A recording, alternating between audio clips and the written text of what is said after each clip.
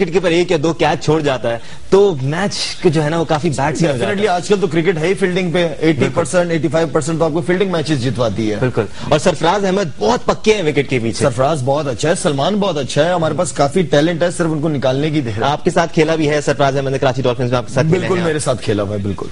अच्छा जब हम तेंदुलकर की अब बात करते हैं वापस उस मैच में जाए। सॉरी शायद आपको बार बार इस मैच में ले जाती इतने सारे पीछे नहीं छोड़ेगा ये मैच की मेरा भी आखिरी इंटरव्यू है मैं वैसे वेस्ट इंडीज जा रहा हूँ।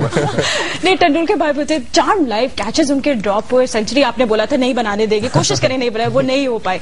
थोड़ा सा हम देखते देखेंगे भी कि तेंदुलकर कैचेस ड्रॉप उस टाइम क्या सोचते हैं क्या हो रहा है भाई? उस की फीलिंग मैं आपको नहीं बता सकता। नहीं नहीं थोड़ा सा बताएँ ये ये देख सकते हैं शायद। ये एक। और मिसबा के बकेट हैंड्स काम नहीं कर पाए। ये काफ़ी डिफ़िकल्ट चांस था वैसे ये। लेकिन और फिर एक और दफ़ा। यूनुस खान यार अच्छे फील्डर और पाकिस्तान के बेहतरीन फील्डर में शुमार किया जाता है। यूनुस खान ने काफ़ी लॉलीपॉप कैच था वैसे। और शायद आप देख सकते हैं कि नहीं आप? दिस वाज पॉसिबल कैच लेकिन विकेट कीपर के लिए थोड़ा मुश्किल हो जाता है अगर थोड़ी सी भी डेविएशन हो जाए तो। शायद इस पे ओ ओ शायद ये ये ग्रेशन वैसे अगर ये कैच जाता तो 22 विकेट होती। हाँ जी हो जाता जब शायद अब देखना नहीं चाह रहे हैं उस तरफ़ अच्छा ठीक है कोई बात नहीं शायद आप थोड़ा हमें एक्सप्लेन कर दे कैसा फील कर रहे थे उस टाइम आप बताना तो पड़ेगा वेल उस वक्त फीलिंग तो बहुत ज़्यादा। जहरी बात है एक मेन प्लेयर खेल रहे है उनका और हमें पता है कि अगर हम हमने उसको आउट कर दिया तो इनको 210 रन के से ज़्यादा हम नहीं करने देंगे। हमारा प्लान बन चुका था लेकिन वो बस उसका दिन था उसका काला जादू चल रहा था। लोग कह रहे थे तेंदुलकर को एक दफ़ा आउट करना पॉसिबल नहीं हमने तो पाँच दफ़ा आउट किया हाँ जी और, और वो पाँच दफ़ा में भी 85 रन अच्छा तो फिर काला जादू चल गया उसका मतलब। उसका चल गया अच्छा जहाँ अच्छे लोग होते हैं वहाँ बुरे लोग भी होते हैं जहाँ बुरे लोग होते हैं वहाँ अच्छे लोग भी होते हैं। भारत में आपको मोहब्बत भी बड़ी मिली है। बहुत ज़्यादा। तो इस जब आप खेलने गए बड़ा प्रेशर था लेकिन कितनी मोहब्बत मिली आपको? कितनी मोहब्बत बटोर के। वेल अगर आप मोहाली में हम खेलने गए और मोहाली के जो सरदार जी हैं सिख भाई हमारे वो इतने ज़बरदस्त लोग हैं इतने प्यार करने वाले लोग हैं कि मैं बता नहीं सकता। और जब भी हमें जाते हैं हम बड़ी ज़बरदस्त वहाँ मेहमान नवाजी की जाती है वहाँ पे हम लोगों की। बल्कि पूरी इंडिया में लोग जहाँ जहाँ हम लोग जाते हैं और बड़ा ज़बरदस्त रिस्पॉन्स मिलता है। वेल हमेशा इंजॉय करते हैं मोहाली में। अच्छा सरदार जी फिर क्या कह रहे थे आपको? सरदार जी ने सरदार जी ने क्या कहना है मुझे? कुछ चकते पट्टे या कुछ? वो चलते ही रहते हैं वो तो बारह बज जाते हैं। शायद भाई कुछ आईपीएल की बात करते हैं। आईपीएल पे आपके क्या तासुरात हैं? पाकिस्तानी खिलाड़ियों को खेलना चाहिए आईपीएल जितना भी भारत का रवैया रहा है जिस तरह का भी रवैया रहा है क्या पाकिस्तानी खिलाड़ियों को वहाँ खेलने जाना चाहिए? आपका क्या ख्याल? है देखिए जब आप ऊपर का तबका जब आपस में ताल्लुकात बेहतर हो जाते हैं तो फिर ज़ाहिर बात हर चीज़ चलने लग जाती है चाहे आईपीएल हो चाहे वो बसें हो चाहे वो ट्रेन हो हर चीज़ सारा बिज़नेस शुरू हो जाता है चलना। तो मेरे ख्याल में फिर ज़ाहिर बात अगर आप नहीं भी जाना चाहते तो फिर आप बोर्ड आपसे रिक्वेस्ट करता है कि नहीं जाना चाहिए उनसे हम ताल्लुकात बेहतर करना चाहते हैं और ये वो। तो डेफिनेटली आप खेलने जाते ही हो। और हमारे प्लेयर्स को बड़ा सलाम है कि यार हमारा दिल अल्लाह का शुक्र है बहुत बड़ा है। ठीक है? जो भी हमारे साथ जी जी जी।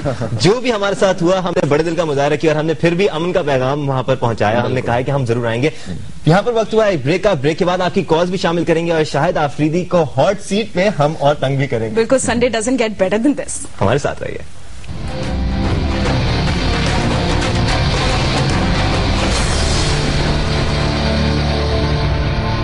हम आज अपने हीरोज के कप्तान शाहिद खान आफरीदी से खसूसी इंटरव्यू कर रहे हैं। आप लोग की कॉल्स आ रही हैं बल्कि इतनी ज़्यादा आ रही है कि हमारे पूरे ऑफ़िस का जो टेलीफोन एक्सचेंज है वो बैठ गया। भाई थोड़ा हौला हाथ रखें थोड़ा रुक जाए वरना किसी की भी कॉल नहीं मिलेगी। बिल्कुल कैप्टन बैठे हुए हैं। मगर एक बात है कि थोड़ा सा आराम से हौसला करें बात हो जाएगी डोंट वरी बहुत एक लकी हमारे पास इस वक्त कॉलर है। मुझे बड़ी मुश्किल से उनकी कॉल मिली है। ये कौन है? मिनी आफरीदी लग रहे हैं मुझे। इनका नाम मुर्तजा है और ये कहाँ से कॉल करें? पूछते लाहौर से कॉल कर। वालेकुम Murtaza.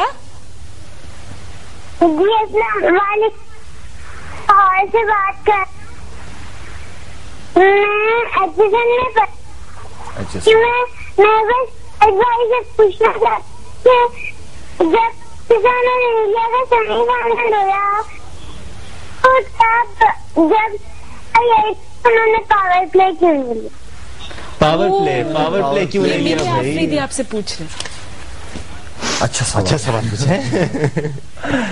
I think power play इसलिए नहीं लिया कि जिस ओवर में मैं आउट हूँ उससे अगला ओवर जो था वो हमारा पावर प्ले ही था मेरा और मिसबा का यही प्लान बना था। लेकिन वेल वो जिस तरह मैंने कहा कि कुछ आज हमसे गलतियाँ हुई है हमें थोड़ा सा पावर प्ले और पहले लेना चाहिए था। थोड़े से हम उसमें भी लेट हो गए थे। और आ, मेरे ख्याल में वो ऐसे प्लान हमारा यही था कि जहीर खान वहाँ से वर्क कर रहा है। तो हमारी कोशिश यही कि हम चाह रहे हैं कि पावर प्ले उस वक्त लें ताकि जहीर खान एक थका हुआ स्पेल भी किया हुआ है। दोबारा आएगा तो थका हुआ होगा उतने उस तगड़े तरीके से नहीं करेगा। खैर प्लान था लेकिन मैं समझता हूँ कि ये गलती हमारी। और चूँकि हमारी टेलीफोन एक्सचेंज बैठ चुकी है हम पूरी कोशिश कर रहे हैं कि आप लोग हमें मैसेज के ज़रिए सवाल पूछ रहे हैं वो हम शायद भाई तक ज़रूर पहुंचाएँ। अली ने हमें कराची से मैसेज किया वो कहते हैं आप फवाद आलम को इतना सपोर्ट क्यों करते हैं? फवाद आलम को? जी। मेरे ख्याल में आ, कभी कभार लोग मुझे कहते हैं कि आप अहमद शहजाद को बहुत सपोर्ट करते हैं कभी बार कहते हैं उमर अकमल को बहुत सपोर्ट करते हैं। मेरा काम है मैं कप्तान हूँ मैं तो हर लड़के को सपोर्ट कर जब तक मेरे अंडर खेल रहे मैं सबको सपोर्ट मैंने किया है और करता रहूँगा। जो भी प्लेयर होगा मेरा हर प्लेयर मेरे लिए उतनी अहमियत रखता है। हम यही बात कर रहे थे कि इस टीम का जो राज था, जीत का, वो यही था कि शाहिद खान आफरीदी ने हर किसी को सपोर्ट किया। चाहे उसने परफॉर्मेंस दी या नहीं दी कैप्टन का सपोर्ट और कोच का सपोर्ट हासिल था। बिल्कुल और फ़ैन से जितना सपोर्ट किया शायद खान अफरीदी को। ये तो आपको एसएमएस के ज़रिए बताते हैं। एक और एसएमएस आया मरियम का। मरियम ने कराची से भेजा। शायद भाई आपकी तारीख पैदाइश क्या है? और तो इसमें कैसे पूछ लिया तो लड़की और लड़की और कप्तान की उम्र नहीं पूछी जाती। मैं चौदह साल से खेल रहा हूँ पता चलनी चाहिए उनको की कैसी फ़ैन है कि जिन्हें उम्र नहीं पता मेरी। अच्छा चलो बता देना। एक तीन उन्नीस सौ अस्सी। फ़र्स्ट मार्च एक तीन उन्नीस सौ इकतीस। Nineteen eighty. अच्छा एक कॉल हमारे साथ है फयाज। फयाज हमारे साथ टेलीफोन लाइन पे मौजूद है। जी फयाज कराची से आप कॉल कर रहे हैं। क्या सवाल पूछना चाहेंगे? बूम बूम आफरीदी से। सलामकुम शाहिद भाई। वालेकुम सलाम फयाज साहब। सर क्या हाल है? ठीक हो? अल्हम्दुलिल्लाह आप खैरियत से हैं? अल्लाह की रहमत है दुआ चाहिए। मैं सर ख्याल राजनपुर से बात कर रहा हूँ सर। जी जी फरमाइए। सर जी हमें ये जो हम सेमीफाइनल आ रहे हैं तो इसका मुझे बेहद अफसोस हुआ है सर। मैं आपका फ़ैन हूँ और पाकिस्तान टीम का फ़ैन हूँ। हमें भी अफसोस है जी इंशाल्लाह आइंदा आपको अफसोस नहीं होने देंगे। अच्छा। चलिए फैज अहमद राजन राजनपुर से कॉल कर रहे थे थोड़े से डिसअपॉइंटेड थे लेकिन कोई बात नहीं। शायद खान ने फ़िल्म को तसली दी भाई आंदा आप लोग नाराज़ नहीं होंगे। अच्छा जब हम लोग सेमीफाइनल हारे थे 99 जब पाकिस्तान फाइनल हार के आया था तब भी आप टीम का हिस्सा थे। उस वक्त तो टीम काफ़ी सहम गई थी कि यार लोग बड़े गुस्से में हैं बैक होम इस दफ़ा आपका क्या माइंड सेट था जब आप वापस आ रहे थे? क्या सोच रहे थे? टीम का सपोर्ट कौन का सपोर्ट मिलेगा या नहीं मिलेगा? वेल well, uh, मेरे ख्याल में वही मैं कह रहा हूँ कि इतनी एक्सपेक्टेशन नहीं थी हमसे जितना अच्छा हम खेल गए पूरे हम्म। अपने पहले राउंड में चैंपियन हो गए, पहले नंबर पे आ गए। और लोगों ने बिल्कुल उम्मीदें रखी नहीं थी हमसे। दूसरा ये था कि स्काइप पे फैमिली से बात करता रहता था तो सारी न्यूज़ देते रहते हैं कि पाकिस्तान में ठीक है, काफ़ी लोग सपोर्ट कर रहे हैं और हिम्मत नहीं आना बस कोशिश करो अपनी पूरी।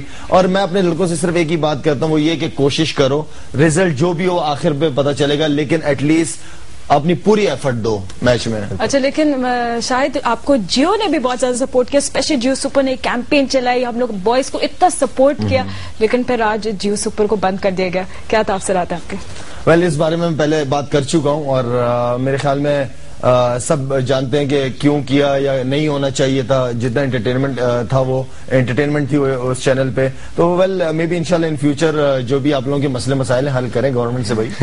हमारी पूरी कोशिश है कि आप लोगों की ज़्यादा से ज़्यादा कॉल भी शामिल कर सके। रिजवान खान हमें कॉल कर रहे हैं आज़ाद कश्मीर से। रिजवान सलाम कैसे हैं आप? क्या पूछना चाहेंगे कप्तान से?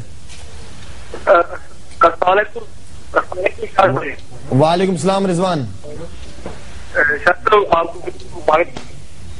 खैरियत से आप ठीक ठाक है शाह भाई आप आपसे बात तो बात कर बस आपसे एक हमें चाहते हैं बिल्कुल। हम आज चाहते हैं रिजवान खान की हमें आवाज़ क्लियर नहीं आ रही। रिजवान आप वापस ट्राई करिएगा आपका सवाल जो होगा हम इंशाल्लाह शायद यहाँ बैठे हुए हैं आपका जवाब देने के लिए। ऐसे में आपको बताते हैं कि ये अब्दुल रऊफ ने फैसलाबाद से पूछा कि मिसबा यूनिस रजाक और कमरान अकबल को बार बार चांस क्यों देते हैं भाई? क्यों देते हैं? मेन प्लेयर है अच्छे प्लेयर है इसलिए चांस देते हैं। अच्छा शायद भाई दौरा वेस्ट इंडीज का ज़िक्र करना बहुत ज़रूरी है। 2005 में हम तीन सिफर मार के आए उनको वन डे सीरीज़ में। लेकिन टेस्ट सीरीज़ आज तक हम वहाँ पे नहीं जीत पाए हैं। इस वक्त जो कॉम्बिनेशन बना है यंग ब्लड शामिल किया गया टीम में। चार सॉलिड डेब्यूटॉन्स जो नई लड़के शामिल किए गए।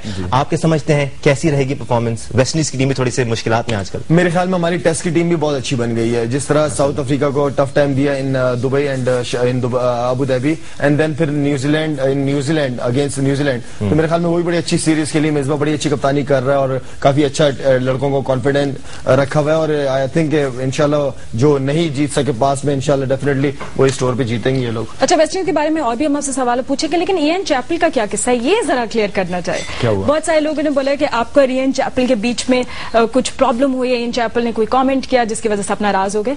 किस बात पे? है अच्छा मैम हम लोगों ने एक्चुअली मैं पढ़ रही थी कि एन चैपल ने बोला कि मुझे शायद आपकी का स्टाइल नहीं पसंद तो आपने आगे से बोला कि एन चैपल जो भी बोलते हैं बोलते रहे क्या ये न्यूज़ में कोई सदाकत नहीं नहीं मुझे बिल्कुल नहीं पता इस अच्छा। ठीक है, तो ये- अच्छा, ये गलत clear हो गया। पहुँची है जी चलिए, ये हुआ। clear। नहीं नहीं मैं बता देता बिल्कुल अच्छा, आपको चले ठीक है ये हम ट्रस्ट कर सकते हैं कि शाहिद खान आफरीदी अब बैठे हुए एज इट इज़ बताएँगे और बहुत सारे लोगों ने ये भी बोला है कि the best thing about Shahid Khan Afridi से गलती करेंगे तो बोल देंगे हाँ भाई मैंने गलती की है हो तो गई क्या कर सकते हैं? अच्छा दौरे वेस्ट इंडीज पे एक बार फिर वापस आएँगे 2005 में जब हम गए थे तो हम तीसरे वनडे में आपने छप्पन रन बनाए थे 303 रन बनाए थे पाकिस्तान क्रिकेट टीम ने जो सेकंड हाई स्कोर है वेस्ट इंडीज में। जी, तो आपको एक्सपीरियंस है वेस्ट इंडीज में खेलने का। पिचेस कैसी होती है मौसम कैसा होता है? पाकिस्तानी खिलाड़ियों के लिए फिजिबल है वहाँ पर अच्छा परफॉर्मेंस दिखाना? बिल्कुल सेम कंडीशन है जो हमारी सब अच्छा। कॉन्टिनेंट्स की है। कोई ऐसा कुछ बहुत ज़्यादा फ़र्क नहीं है। और मेरे ख्याल में वहाँ पे क्रिकेट ज़्यादा इंजॉय करते हैं। वहाँ पे ऐसा कुछ है भी नहीं। आप क्रिकेट खेलते हो देन जाते हो आप होटल्स वगैरह जितने भी रिजॉर्ट होते हैं वो सारे बीचेस के ऊपर होते हैं। आप रिलैक्स करते हो पूरे दिन एंजॉय करते हो। मज़ा आता है वहाँ पे क्रिकेट खेलने पार्टी भी होती है मतलब है क्या पार्टियाँ पार्टियाँ करने वाले बिल्कुल शरीफाना पार्टी। हाँ? शरीफाना पार्टी। शरीफाना पार्टी तो होती नहीं है। अच्छा साउथ कराची से हमारे साथ टेलीफोन लाइन पे मौजूद है। जी साउथ बुम्बू बुम बुम से क्या सवाल पूछना चाहते हैं? मैं आपसे पूछूँगा कि वो आपका निक, उनका निक, आपका निकनेम क्या है और और आपने जल्दी पावर प्ले क्यों नहीं लिया था? अच्छा पावर प्ले वाला सवाल बाद दोबारा पूछा गया मगर वो पहले पूछा कि आपका निक निकनेम क्या है? वो घर में क्या कहते हैं? मुझे पूछना आपको प्यार से क्या कहते हैं? निकनेम मुझे वो शायद ही कहते हैं घर में ऐसा कुछ वो बच्चे। बाबा कहते वापस हैं। साउथ को बता। लाला कहते हैं। लाला कहते हैं कमेंटेटर बूम बूम कहते हैं। कमेंटेटर बूम कहते हैं। ठीक है और अब अब अपकमिंग टैलेंट की बात करते हैं अपकमिंग फाइव बैट्समैन जो आप देखते हैं कि बस ये टॉप फाइव होने नहीं ऐसे आप कोई नाम तो नहीं ले सकते। ये अ, जैसे चांसेस मिल रहे हैं जैसे अस, असद शफीक को चांस मिला और इस तरह के may be in future definitely जब आप चांसेस देंगे यंग लड़कों को डेफिनेटली इसमें से अच्छे से अच्छे प्लेयर उमर अकमल जैसा असद शफीक जैसे ये अच्छे बैट्समैन निकल आएँगे सईद अजमल रहमान जैसे बॉलर तो इस तरह लाजमी निकल आएँगे। अच्छा बैटिंग कोच के बारे में एक और बार बात करनी ज़रूरी है। क्या दौरा वेस्ट इंडीज में पॉसिबल हो पाएगा हमारे लिए बैटिंग कोच अरेंज करना हो जाएगा? आई थिंक ये मुश्किल है। Maybe after West Indies tour definitely chairman साहब इस चीज़ को बड़ा सीरियसली uh, ले रहे हैं इसलिए कि काफ़ी अरसे से बैट्समैनों के अंदर वो चीज़ नहीं नज़र आ रही जो होनी चाहिए। अ, पहले मैं इस चीज़ पे बिल्कुल एग्री नहीं करता था कोचेस इसलिए कि इंटरनेशनल क्रिकेट में कोचिंग अलग अलग किस्म की है, जो बॉब वुलमर किया करता था। अ, लेकिन अब इतने यंग प्लेयर्स आ रहे हैं जिसके जिसके लिए कोच का होना बहुत ज़्यादा ज़रूरी है। अच्छा और टॉप फाइव अपकमिंग बॉलर्स कौन देख रहे हैं? कौन से देख रहे हैं आप? मैंने जिस तरह कहा ना कि नाम लेना मुश्किल है अब यंग लड़के आ रहे हैं जिस तरह जुनेद है हमाद आज़म आ रहा है और इसके अलावा तनवीर तो ऑलरेडी खैर टेस्ट क्रिकेट खेल ही रहा था। तो इस तरह के यंग लड़के जब यंग बॉलर्स आएँगे तो मे बी सदफ है जो नया बॉलर है। सदफ। अ, तो ये लड़के आएँगे इनको चांसेस मिलेंगे इंशाल्लाह इन्हीं में से अच्छा टैलेंट निकलेगा। अच्छा शायद एक सवाल जो सब पूछते हैं बार बार बार बार फील्डिंग को क्या हो जाता है? फील्डिंग को क्यों नहीं इम्प्रूव करते कभी-कभी मुझे पता है, बहुत नाराज़ होती भी है। होते हैं। अच्छा एक बात मैं बताऊँ आप लोग फील्डिंग के ऊपर बहुत ज़्यादा इशू है ना। फील्डिंग हमारी काफ़ी साठ साल की अगर फील्डिंग देख लेना तो हमारे जो जवान जवान होते थे ना वो भी थर्ड मैनों पे खड़े होते थे। फील्डिंग एक ऐसा शोबा है, जब तक आप इसको इंजॉय नहीं करेंगे, आप अच्छे फील्डर नहीं बन सकते। दूसरा ये कि मेरे ख्याल में जितनी मेहनत हम लोगों ने इस वर्ल्ड कप और इस वर्ल्ड कप से पहले सिर्फ़ फील्डिंग एरिया पे की है, हमने किसी और